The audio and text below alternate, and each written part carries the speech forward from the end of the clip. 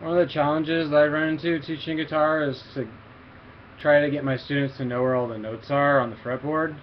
And that's just like, it just takes a while to learn. Like, it probably took me like three years of playing guitar to really feel comfortable being able to know where all the notes are on the fretboard. And like, one of the main ways to do it is to learn to read notes. Like, when you're actually reading notes, not tab, it forces your brain to um, have to think in terms of notes, and then when you're like sight reading notes, especially in the middle of the guitar, it really forces your brain to know where the notes are. So that's mainly what helped me. And even now, like I'm still like my brain, it's not always instant. Like I know, I know this is G C, like this, like F, like I, like my brain had to do like a tiny bit of a adjustment. But one of the things that um, one of the things that really helped me was to start learning octaves, like like just to feel comfortable. Like I just played G. then no matter where you are, like if you're on G, then you can find the G's, and then eventually you just start to sort of know where they're at. So I, I used to try to like communicate that concept to my students, and then I remember I came across this book. Um, it was a really cheesy book, but it had great info in it. And they had this concept called the Big W to explain how to find, um, how to think about the octaves on the guitar. So I'm just going to share that right now because I've done it with my students and it works really well. So I'm going to do it with a note E. So I'm going to just demonstrate it and then I'll explain how to do it and I'll do it with one more note. So.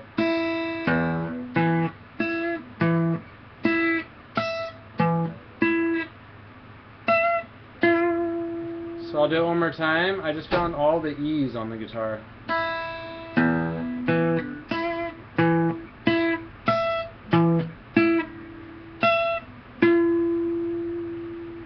So here's what you gotta think. It's kind of like a series of rules. So whenever you're on the top string, then you go straight down to the bottom string. So this note's E, then you guys drop all the way down to the bottom string. So we're on the top, so when you hit the top string, the pattern is to go down to the bottom string.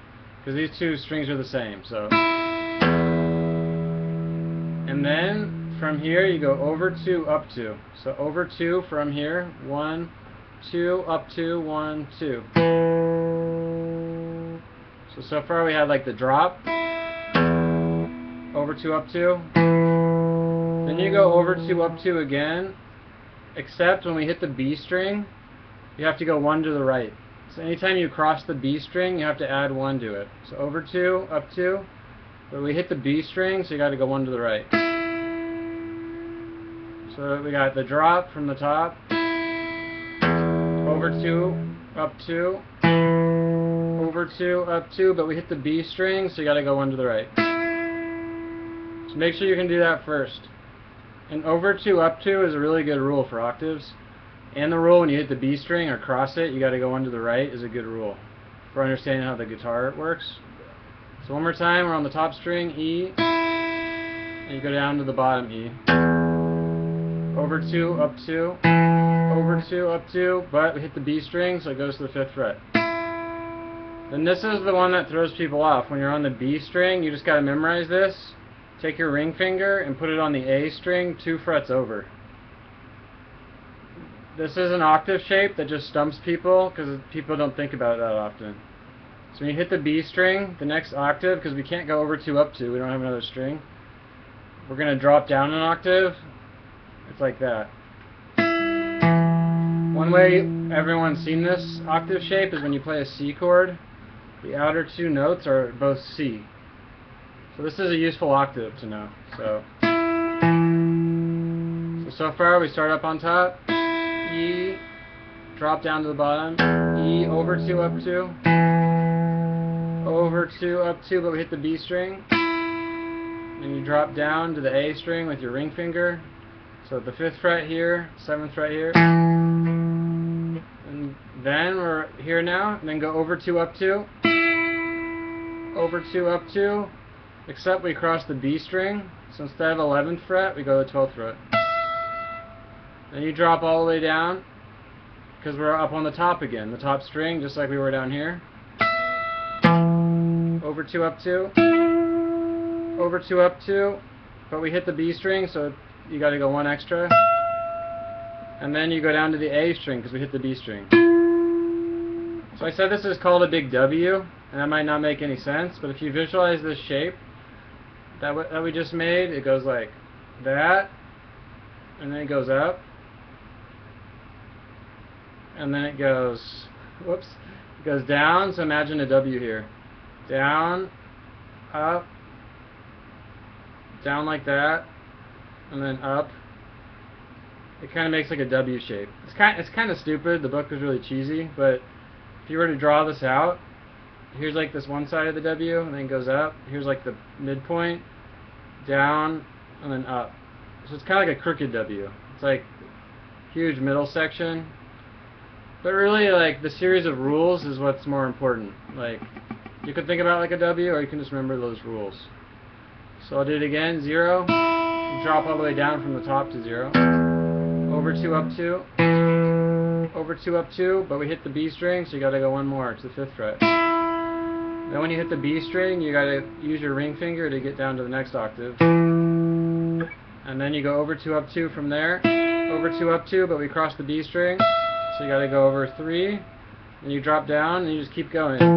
Over two, up two, over two, up two, but we cross the B string.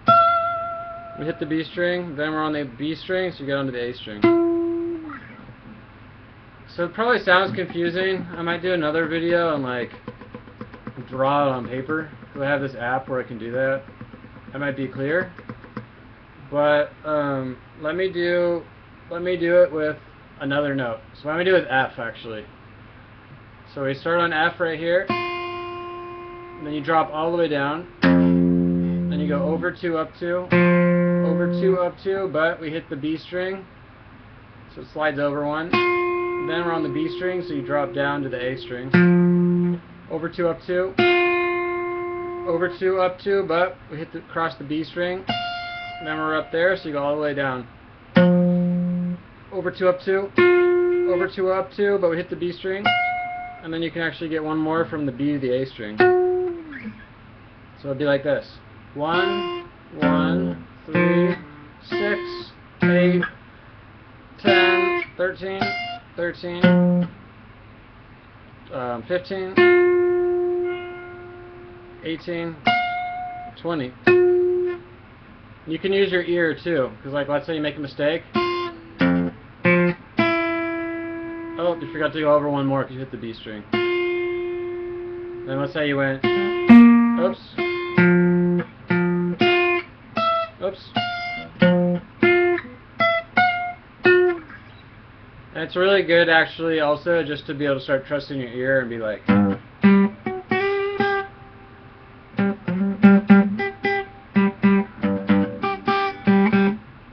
Do stuff like that. I don't know. Maybe this lesson was a was a dud. I don't know. Because this is a really good concept, and I've been able to communicate to my students in person. But I can like grab their fingers and point, touch the guitar. Um, so I don't know if it's confusing. Like leave, leave me a comment. Maybe I can do that other type of video. Because it's a really important concept. Because it's really powerful once you know how to find octaves. And this is one of the powers of it. Let's say you had a little riff that went. Whoops. Let's say you wanted to move that riff around all over the guitar. You can either just use your ear until you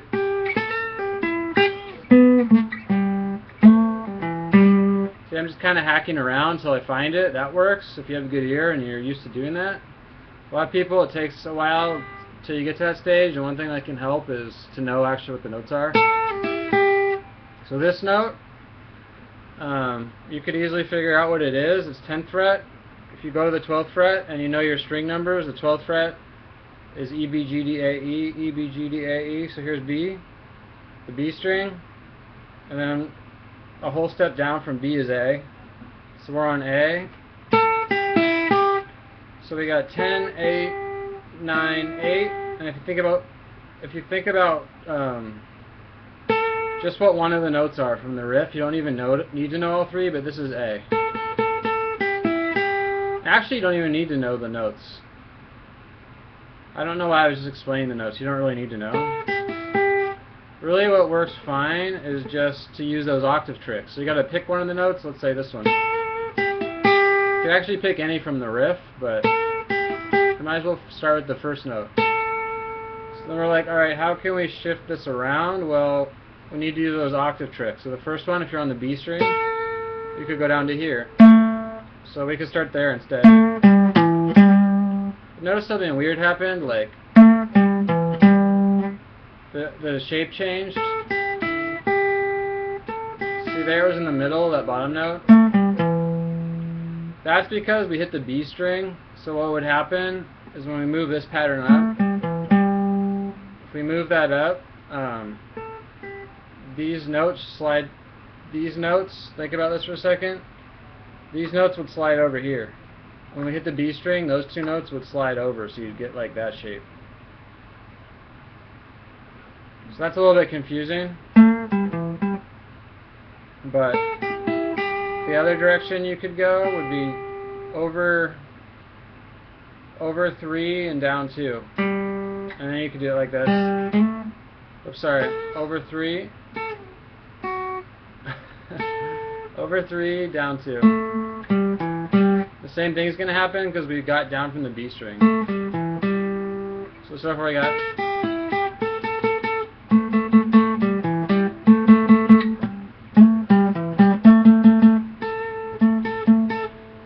should have given an easier example because this is kind of getting hard to explain. Let's just say the riff was this. So I, then that would be easier. So this is the note I'm trying to move around. I'm just going to move the first note. So I need to find the octave of this. So I could first thing I could do is go down from the B to the A string. I could go over two, up two, over two, up two, but cross. So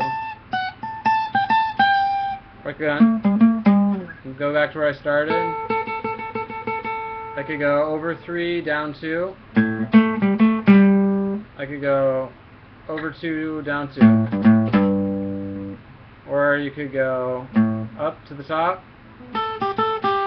Or over, down three, over two. But one thing that can really pay off, because that might have been like a total headache, what I just did. So one thing that can make things a lot easier is to actually think about what this note is. This is A. So then you could find A somewhere else. Like here's A. And then you can start using some of your octave tricks from a spot that's maybe more comfortable. Like, say, dropped all the way down. Over 2, up 2. Over 3, up 2. Down to the, from the B to the A string. So basically, instead of just finding single notes, you can transpose riffs around. Like, not transpose, but move them around, shift the octave.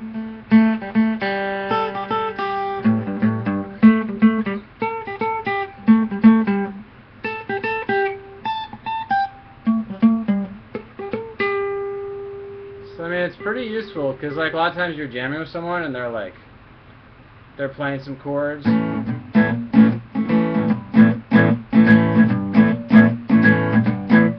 You make up something because you're just a lot of times when you jam with people, it's good to just copy what they're doing. So like sometimes I'll just play the same chords like, and you could be like, then you're like, all right, I need to get out of their space, so you could just be like, all right, here's my first note. So over three up, over two up two, where we hit across the B string. So and then you could be like, oh, I don't really want to be right there, so maybe down to. You could quickly go through, and then you can start moving around. so this lesson got a little bit vague as I kept talking, but it's kind of one of the ways you can use it, but it's, a little bit different than how I just described it. It's kind of like you should be able to find the single notes, and then it's like that knowledge will sit in your brain and make it easier to to use other types of knowledge too. Like it's like a useful skill, but it's more like it's not going to come out exactly like I just did it. Like when you actually start to use it in practice. So anyways, I just figured I'd throw it out there. it might be totally confusing, but it could be good to see it. So.